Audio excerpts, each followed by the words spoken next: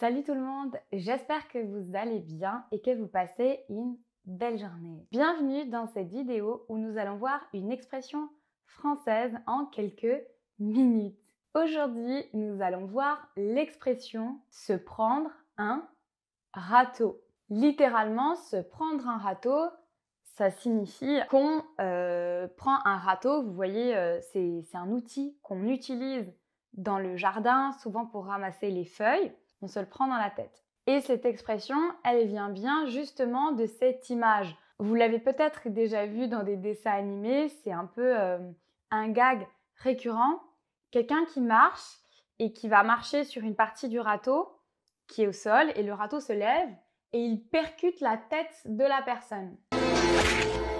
Bien sûr, cette expression familière, on l'emploie surtout au sens figuré. Se prendre un râteau, ça signifie qu'on a essayé de séduire quelqu'un, mais que nous ne sommes pas arrivés à nos fins.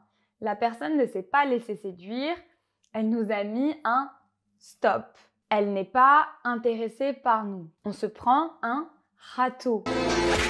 C'est un peu la même douleur, sauf que ce n'est pas une douleur physique, mais c'est une douleur au cœur. Ça fait mal de se prendre un râteau je vais vous donner des mises en contexte pour que vous compreniez bien. Par exemple, si je marche dans la rue et qu'un garçon euh, vient me parler et me demande mon numéro de téléphone et que je lui dis euh, non merci, je, je ne suis pas intéressée, je suis déjà en couple, il va dire qu'il s'est pris un râteau.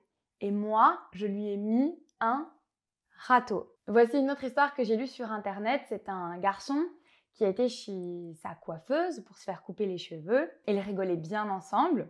Donc au moment de partir, il lui a proposé d'aller boire un verre. Il l'a invité à prendre un verre.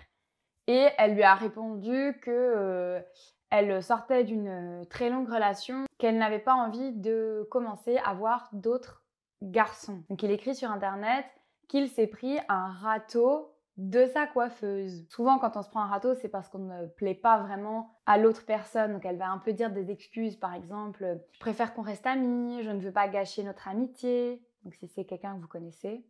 Ou alors, comme je vous disais, dire je sors d'une relation ou je suis en couple, même si parfois ce n'est pas vrai. Voilà, c'est fini pour cette petite expression familière, se prendre un râteau. J'espère que cette vidéo vous a plu et surtout que vous ne vous prendrez pas un râteau de la personne qui vous plaît. Je vous souhaite une très très belle journée et surtout n'oubliez pas, si vous avez aimé la vidéo, mettez un like et surtout si vous n'êtes pas encore abonné, abonnez-vous et activez la cloche pour ne manquer aucune de mes vidéos. Je vous dis à très très vite.